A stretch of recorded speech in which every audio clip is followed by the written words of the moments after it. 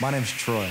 Oh my god. I'm a normal 24 year old, except for one thing I can do magic. I like to play with people's emotions by performing magic tricks on them when they least expect it. It can leave people feeling amazed. Sometimes it can leave people feeling confused. I'm Troy. Welcome to my life where anything is possible. Troy, zondag 9 uur bij Discovery Channel.